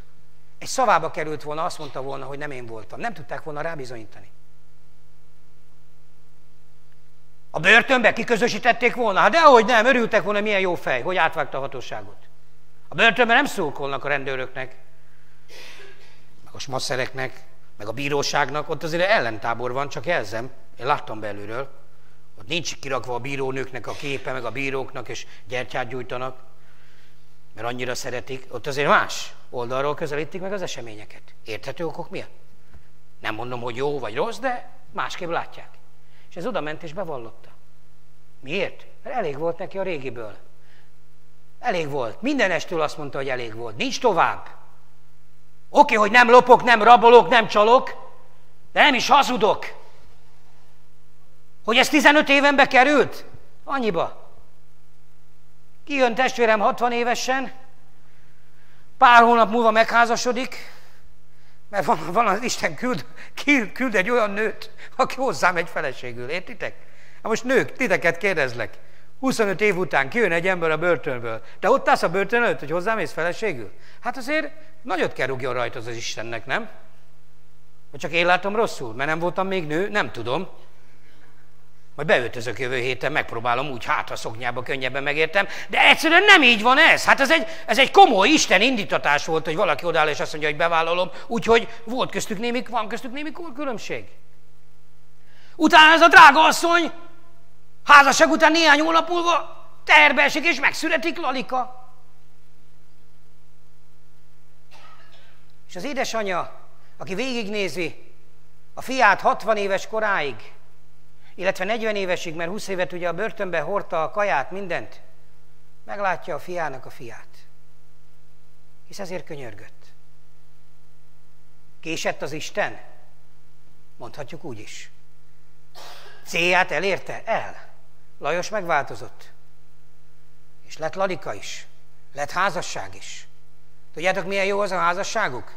Tíz év alatt kell leéljék azt, amit mi 40 évig élünk. Ebben minden benne lesz. Minden. Töménybe. Az eszenciáját. Nincs sallang. Nincs idő izére a kis üres járatokra. Itt, barátaim, ami kifér a csövön, élik a boldogságot. Miért? Hát mert így fér bele. És vesztett valamit? Nem. Emberi mércével? Igen. Ezért, testvéreim, nagyon fontos, hogy éljünk ezzel a lehetőséggel. És ne hagyjátok azt ki, hogy az Isten meg tudjon szólítani benneteket. Ne nyugodj meg, kérlek, ne nyugodj meg. Ne nyugodj meg, hogy hallottál prédikációt. Ne nyugodj meg, hogy hallottál tanítást. Emberek mindig arra hivatkoznak, olvasom sokszor a neten is, hogy, hogy néha beleolvasok ezekbe, csak, csak tisztelem ezeket az embereket, és örülök, hogy némelyek kulturáltan el tudnak beszélgetni, de mindig hallgatom, hogy ú, ezt a tanításból, abból a tanításból, ú, az nagyon jó, hallgass meg. Én ennek örülök, hogy vannak jó tanítások, testvérek, de értsétek meg, én már azokat szeretném olvasni, akik azt mondják, hogy megszólított az Úr. És a következőt mondta, megszól, mert ilyenből is van, csak ettől meg behányok, mert annyian hazudoznak, annyi proféta lett hirtelen, Pedig ki vagyunk éhezve az igazi proféciára, de a sok sült halas dologra erre nem nagyon. De hogy az az, az, az igazi és meg az hozza az elementáris változást, amikor megszólít az Isten. És kérjed, kérjed, ne nyugodj meg, kérjed, kérjed, kérjed, kérjed. 27. Zsoltár befejezésül, és énekeljünk el egy dalt. 27. Zsoltár, a következőt mondja. Nekem ez a kedvenc Zsoltárom, a másik 150 mellett. Ez jó duma, mindig olyan jó hangzik a prédikátorok szájából, ez a kedvenc igém. Aztán a jövő héten meg ez a kedvenc igém. Na mindegy, most hazudtam, de a lényeg az, hogy ez egy nagyon jó ige. Dávidé, világosságom és üdvösségem az Úr, kitől féljek, életem erőssége az Úr, kitől remegjek. Ha gonoszok jönnek ellenem, szorongatóim és ellenségeim, hogy felfalják a testemet, ők botlanak el, ők hullanak el. Egyet kérek az Úrtól, és ez a lényeg, figyeljetek. Egyet kérek az Úrtól, azért esedezem, hogy az Úr házában lakhassam életem minden napján, hogy nézhessem az Úr szépségét, és gyönyörkötessem a templomában. Bizony elrejt engem a hajlékában a veszedelem napján, betakar séta, sátra rejtekében, sziklára emel föl engem. Most is fölemeli fejemet ellenségem fölé, akik körülöttem vannak, ezért örömmel áldozom sátrában, énekkel zengedezek az Úrnak. Hadd meg, Uram, hangomat, hívlak, irgalmaz nekem, és hallgass meg engem. Szívemben hallom, hogy azt mondod, az én arcomat keressétek, a te arcodat keresem, ó Uram. Ne resd el előlem arcodat, és ne utasítsd el szolgádat haraggal, te vagy segítőm, ne taszíts el, ne hagyj el engem szabadító Istenem. Ha apám és anyám elhagynának is, az Úr magához vesz engem. Tudjátok, itt egy nagyon fontos kérése van Dávidnak. És nem véletlenül a, a tékozló fiúnál a cél, és nálunk is a cél az az, hogy hazataláljunk. Amikor hazatalálsz, ott tud Isten beavatkozni az életedben. Hazai pályán. Nem azért, mert fél az utcán, hanem azért, mert ott ideálisak, ott vannak meg a megfelelő körülmények. És mit mond? Azt mondja, egyet kérek az Úrtól, azért esedezem. Mondja ez Dávid. Szerintetek Dávidnak ez az egy ima listája volt? Tudjátok, a végén már azért fáradtam be az ima listákba, mert a legvégén már úgy fejeztük be, hogy 15 oldalas volt. Jani, emlékszel a hosszú imalistákra? Már olyanokért is imádkoztunk, akikről azt sem tudtuk, hogy ki az. A világ békéért is. Azt hittem, valami szépségversenyen vagyok. Tudjátok, ott van mindig, hogy a, mit akar? A világbékét. Ott egyik se akar normális bikinit, hanem mindegyik a világbékét akarja. Egyberészes fürdőruhát nem akar, csak a világbékét. És ugye ott is már mindenén imádkoztunk, már az összes, már, fú, már, már jobban imádkoztunk, értitek? Benne voltak a politikusok is név szerint az imalistában, egy valaki maradt ki, a mellettem ülő testvérem, azon, hogy nem fért be az imalistába. És uram, legvégén a mellettem ülő testvérem, és amáig minden héten összefúr bennünket a szél, ő érte, de nem fért rá az imalistára, mert lenyomta a párt, a haza, a nemzet, az USA, a CCCP, mindenki. Hát ez nem normális dolog, testvéreim. És ezért mit mond a Dávid? Összetépem a 30 oldalas imalistákat. Egyet kérek az Úrtól. Azért esedezem, hogy lakhassak az Úr házában életem minden idejében. Az Úr házában laksz, tudod, hogy mi az imalistát. Hidd el. Mert ott mondják. Kirakják reggel. Dicsőség ezért az Úrnak. Ezért, barátaim, létkérdés, hogy hazataláljunk. Értsétek meg, ma azért van a kiéheztetés. Az éhes kutya is hazatalál. A macskákat, most nem tudom, én nem mondom meg a macskákhoz fűződő érzelmeimet, de a lényeg az az. Hmm, nem olyan bensőséges. Na, de Isten áldja meg a macska szeretőket, nincs ezzel nekem gondom. De az is érted, elkoborol, játsza az agyát egész nap, de mikor eljön az éjség, mikor megkapja a viszkászt, hazatalál. Arra jön. Ott ül az ablakban, és tudja, hogy hat óra van, viszkász van. Érted? Három óra akkor, mikor meg lelki válságban voltál, és dorombolni kellett volna, nem volt sehol. Kandúrt játszott. De hatkor a viszkászra, ott van. Megjön. Az én kutyáim is egész nap szana széjjel, este hatkor ott tutul az ajtóba. Két nagy benga Bernát hegy. Így, úgy, igen, mondom. Pedig van rajtatok tartalék, nyugodtan, igazán nyugodtan elcsendesedhetnétek. Hazatalál. Értsétek meg. Tudom, sokan hiányzik a múlt, meg nosztalgiával vagytok 20-30 évvel ezelőtti időszakokra. Testvéreim, az éjség azért van, mert most eltévedtünk, és haza kell találnunk. És haza fogunk találni azért, mert az, amilyen éjséged van, az csak egy helyen tudják megelégíteni. Nem az X, meg az Y gyülekezetben, hanem az Atya jelenlétében. Ezért mondta Dávid, hogy egy kérésem van. Nekem a 2019-es imalistám nem kellett legépelni. Nagyon egyszerű volt.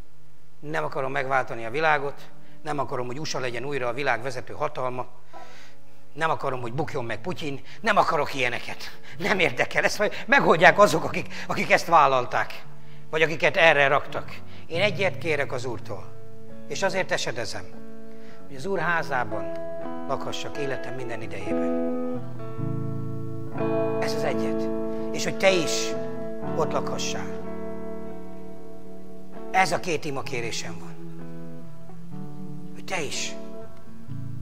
És ha ott lakunk, akkor utána minden világos lesz. Ha hazatalálunk, minden világos lesz. Minden egyértelmű lesz. És az Isten azért ilyen, mert nem akarja, hogy elveszünk.